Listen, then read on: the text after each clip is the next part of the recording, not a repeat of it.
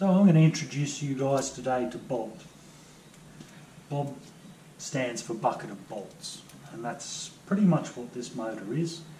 Um, it's been dismantled for nearly 18 months.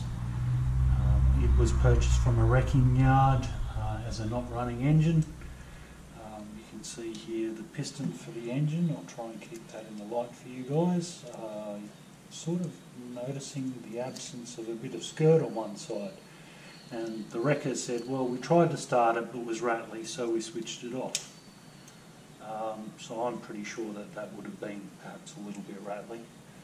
Um, if the motor, if your motor ever becomes rattly and you switch it off in a hurry, you're more likely to be able to redeem the motor than if you try and ride it 100 k's down the street to your mother's house.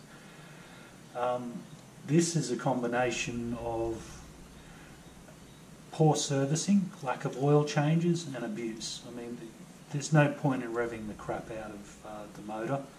Um, a, a CB125E, for example, spins to 9,000 revs before it redlines. Um, most of the power is made seven, seven and a half thousand, and it starts to taper off. Revving its brains out doesn't do any good. Uh, I have got CDI units, which I don't sell, by the way, before anybody asks, uh, because uh, I don't think they're of any benefit. I do have CDI units that remove the rev limiter. Uh, the rev limiter generally will kick in at around 9,100, 9,200, about 9,300. Uh, the engine self-destructs, uh, not dissimilar to this. Uh, so uh, from first-hand experience, I'd like to assure you that taking the rev limiter off this engine is really not a good idea. You're better off leaving it on. Um, so Bob came into my hands anyway. Um, I dismantled Bob and I started assembling the bits required to put it together.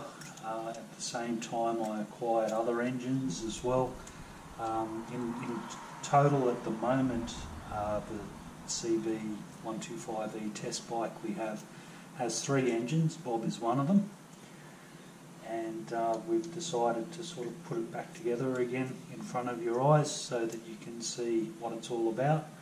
We're going to use uh, HOC parts wherever required uh, to fix it up.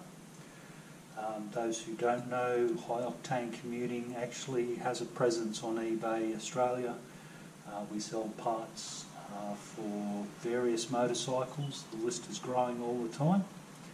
Um, Bob here has been thoroughly inspected, so it's a bit of a shame you didn't get to see Bob being pulled apart.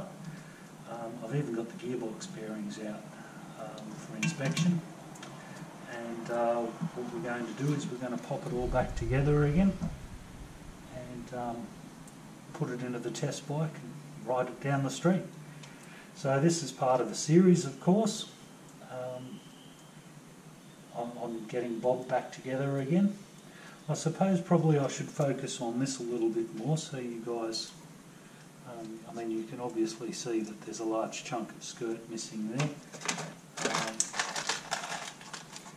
if we go to this little container here, this is what I rescued out of the bottom of the engine. That's probably the majority of the skirt. Um, the cylinder if we get that into the light in just the right way.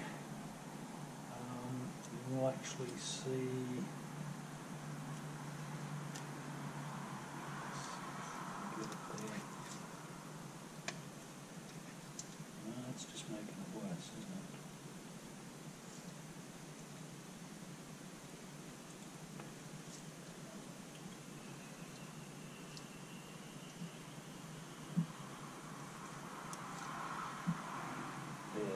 see under my thumb, see that shiny part there? That's actually the scoring on the cylinder from where the piston dug into it. Of course, the piston being completely out of shape at that point um, could have ripped it up a lot worse than that, um, but it hasn't.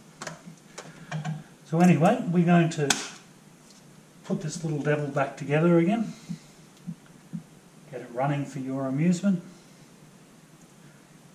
And uh, from there I've got a few other plans for it as well. So, this is Bob.